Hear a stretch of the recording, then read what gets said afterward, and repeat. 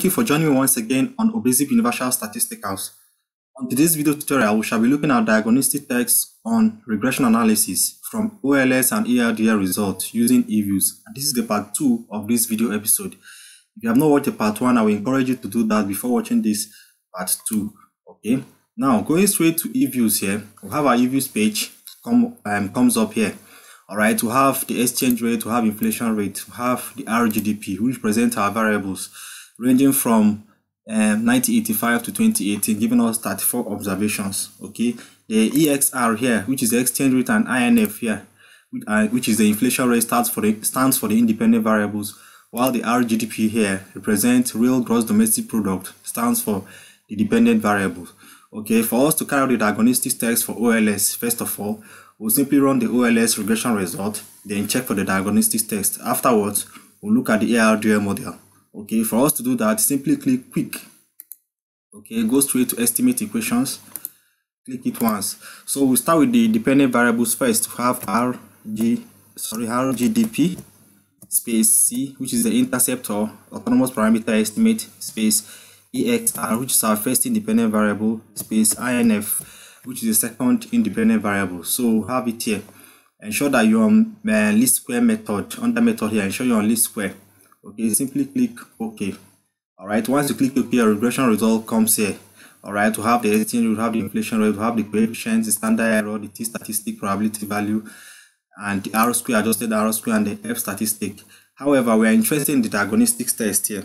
So first of all look at the w value here which is for autocorrelation okay as you can see here the wilson value here clearly shows that there is evidence of autocorrelation in this model why? Because the reversing acceptable range is from 1.5 to 2.0 and this particular value here lies outside that particular range. Okay, we shall be showing how to correct this particular problem in the course of this video. However, let's proceed with other tests of diagnostics. So for us to um, go further with other tests of diagnostics, simply click view. Okay, go to residual diagnostics. All right, we'll look at um, another form of um, autocorrelation or serial correlation in this case using correlogram Q statistics. Okay, we'll look at correlogram Q statistics as well as serial correlation for um, serial correlation in this particular model. So we'll start with correlogram Q statistics. We click it once. Okay, lags to include 16. I'll leave it at default. Simply click OK. Now once you click OK, you find your results here. As you can see here, most of these probability values here are less than 0.05, showing us again there is evidence of serial correlation in this model. As you can see, a good number of them here are less than 0.05, showing us there is evidence of serial correlation. We are going to show you how to correct this in the course of this video. Okay, let us save this particular result. So by the time we correct, we cross-check or compare and see. So for us to save, simply click freeze. Okay, click name.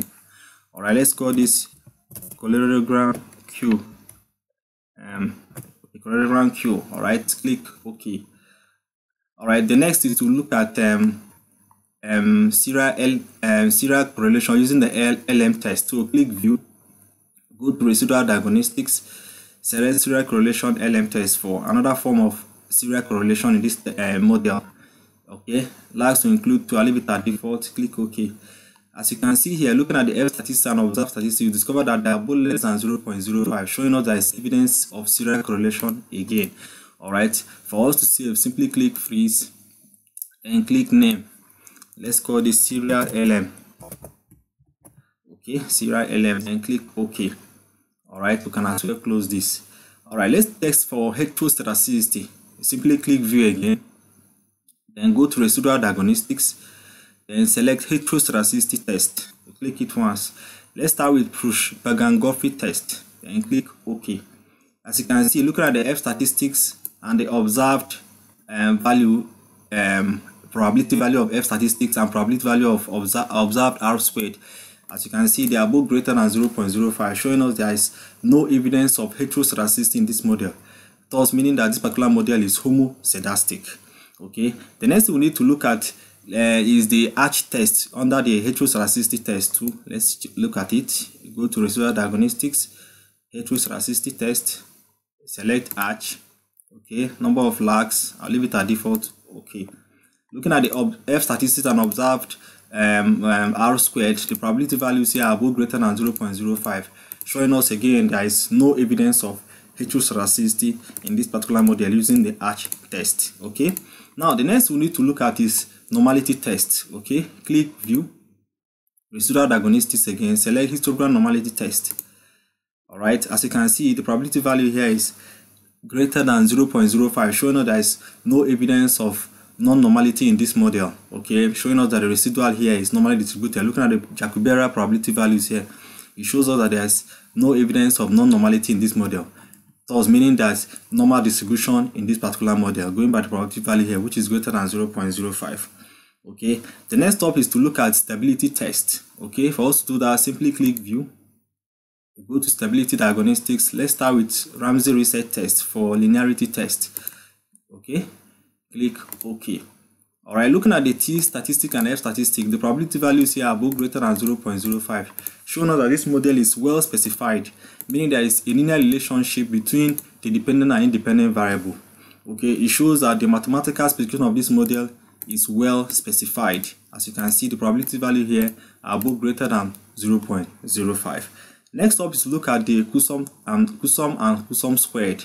Simply click View Go to stability diagnostics, select recursive estimates only. Then let's start with CUSUM test. Okay, click OK. As you can see, the blue line here is in between the two critical boundary lines. Okay, showing that there is evidence of stability in this model. Reason being that the blue line here is in between the two critical boundaries here. Alright, showing that there is evidence of stability in this ordinary square regression uh, model.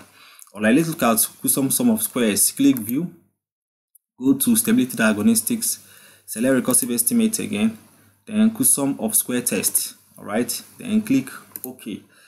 As you can see again, this blue line is in between the two critical boundaries, so thus showing us there is evidence of stability in this model. Okay, this blue line here is in between these crit two critical lines or critical boundaries here, showing there is evidence of stability in this particular model.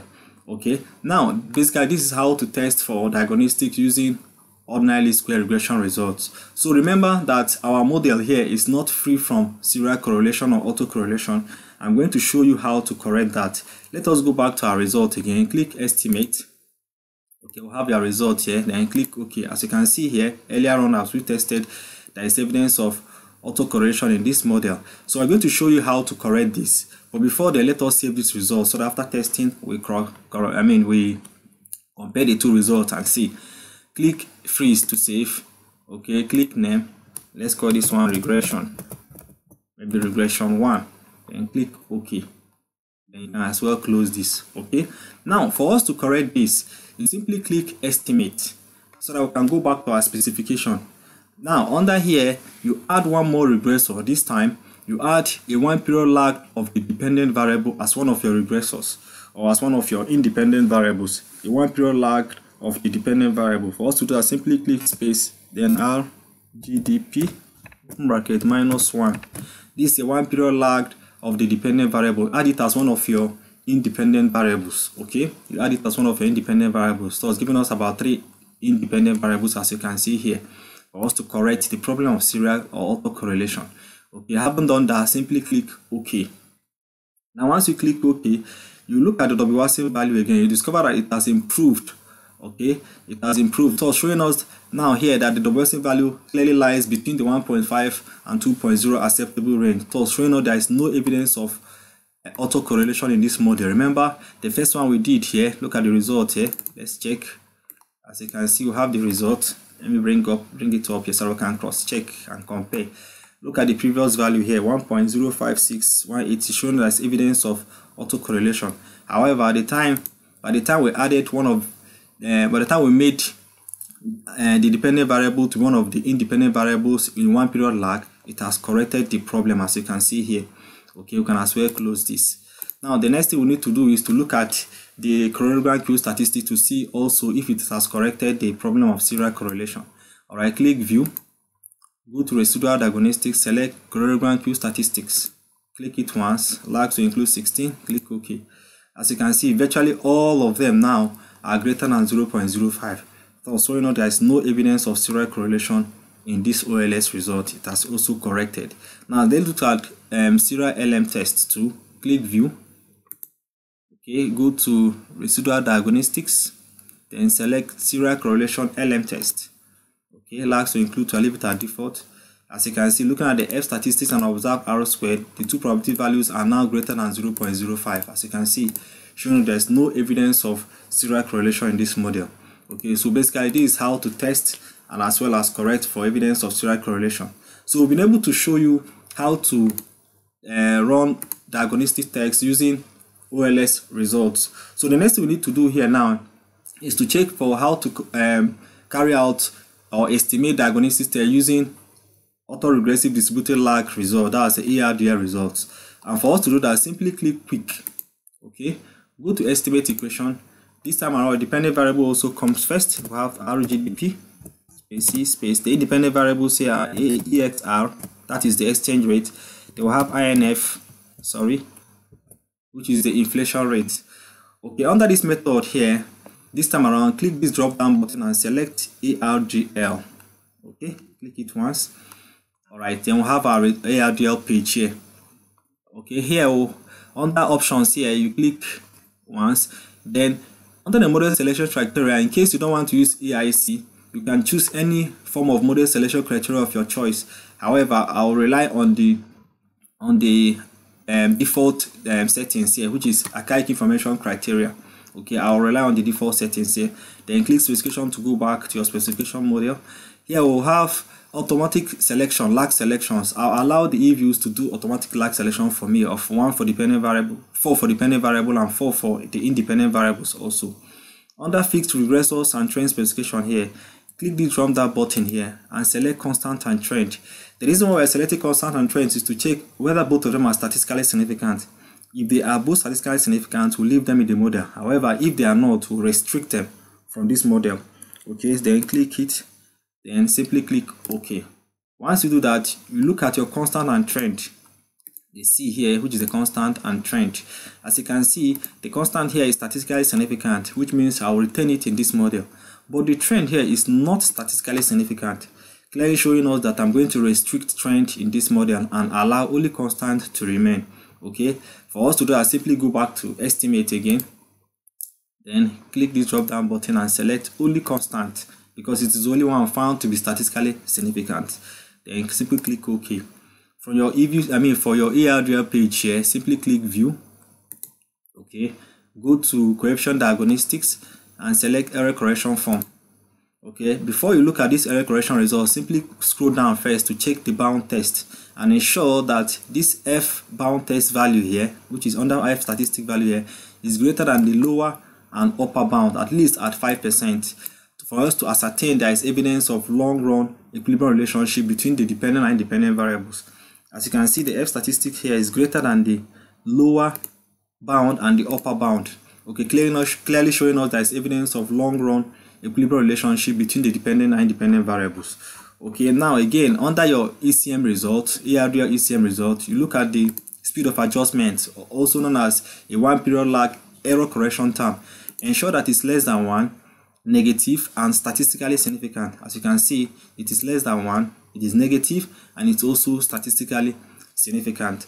Now, for us to carry out the diagnostic text from here, simply click View. Okay let's start with um, serial correlation. Go to residual diagnostics start with correlogram q statistics which is one of the two forms of testing for serial correlation. Click it once last to include the 16 i'll leave it at default. Click ok. As you can see here all the probability values here are greater than 0.05 showing us there is no evidence of serial correlation okay there is no evidence of serial correlation because the probability values here using the correlogram q statistics are all greater than 0.05 now let's look at serial LM test for second um, form of serial correlation. Click view, serial diagnostics, select serial LM. Since I'm using four lags as uh, model selection for the, I mean as model estimation for the ARDL, here I'll remove these two and replace it with four. Okay, then click OK. Here, if you look at the F statistics and observe R squared, they are both greater than 0.05, showing us there is no evidence of serial correlation using the serial correlation LM test. As you can see, they are both greater than 0.05. The next step is to check for heteroscedasticity.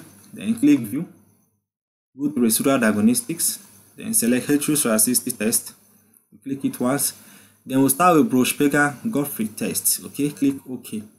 As you can see here the F statistics and the observed statistics the probability values are both greater than 0.05 showing that this model is homoscedastic meaning there is no problem of heteroscedasticity in this ARDL ECM result. Okay we can as well check for arch test using the under the heteroscedasticity test to click view go to residual diagnostics select heteroscedasticity test let us select arch number of lags since i'm using four lags i will replace this one with four. And click ok. As you can see looking at the f statistic and observed um r squared here. You discover the two probability values are both greater than 0.05 showing that there is no evidence of heteroscedasticity also in this model meaning that our model is also most homoscedastic using the arch test. Remember the arch test is more powerful than the Breusch um, Pagan Godfrey test okay? Showing there's no evidence of heteroscedasticity in this model. All right the next step is to check for normality test. Click view. Go again to residual diagnostics select histogram normality test. As you can see the probability values here is greater than 0.05 showing there's no evidence of non-normality. It simply means the residual here is normally distributed okay? Also showing us that our model here is normally distributed. All right the next step is to check for stability test okay? Click view go to stability diagnostic let's start with ramsey text for uh, linear linearity test okay? Click it once number of fitted terms i'll leave it at default one then click ok. You simply look at the t statistic and f statistic probability values. Both of them are greater than 0.05 showing us that this model is well specified thus meaning there is a linear relationship between dependent and independent variable. Okay it should, simply shows that the mathematical form of this model is well specified okay let's look at CUSUM test. Click view.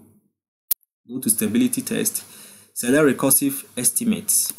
Okay select CUSUM test and click ok. As you can see this blue line here is in between the two critical boundaries. Thus showing us that this model is stable over time. Okay as you can see the blue line here is in between the two critical lines. Thus showing that this model is well stable i mean stable over time. The model is stable over time. Let's look at CUSUM squares. Click view stability diagnostic recursive estimate Kusum of square test okay? Then click ok. As you can see again the blue line here is in between the two critical boundaries okay? The blue line here is in between the two critical boundaries. Thus showing out that our model also is stable over time okay? It clearly shows that our model here is stable over time. So basically this is how to conduct diagnostic test using ordinary least square regression result as well as ARDL regression result. If i'm too fast for you kindly watch this video again and again so that i can be able to follow my steps and carry out yours. Okay kindly share this video with your friends or relatives that may have need for them. Okay kindly share this video with your friends and relatives that basically may have need for them for the academic purposes. Okay if this is your first time of tuning into our channel or coming to our channel to watch our videos kindly click the subscribe button to get more video updates on analysis. Okay thank you for watching